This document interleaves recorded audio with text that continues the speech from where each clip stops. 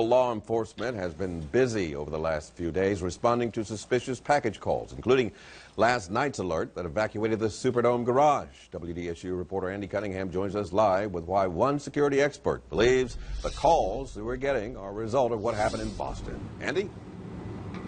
Norman, talking with local authorities and that security expert, they expected these types of calls in the days that followed Monday's bombings at the Boston Marathon. You'll see a lot of people that are a lot more vigilant. Local security expert Mike Kahn, who has decades of law enforcement experience, said what wouldn't have made someone look twice last week is prompting the same people to call police this week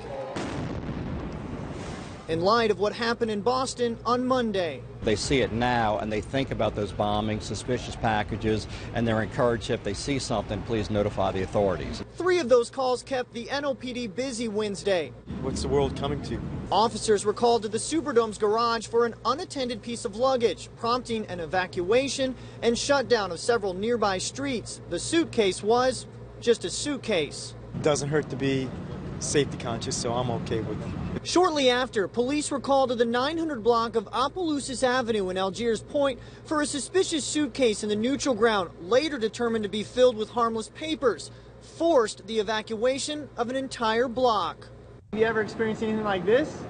No, I have not. Lifelong Algiers resident Tina Lee, one of those evacuated, but it didn't bother her. Absolutely. Yeah, I have no problem with that. And in Mandeville, Police detonated a briefcase found in a garage near the post office after x-ray equipment results came back inconclusive, only to discover it was filled with trash. But due to the fact of what just recently transpired, so they expect to go out on a lot of calls like this and see things, and that goes up every time you have an incident like that, then it'll slowly decrease back down.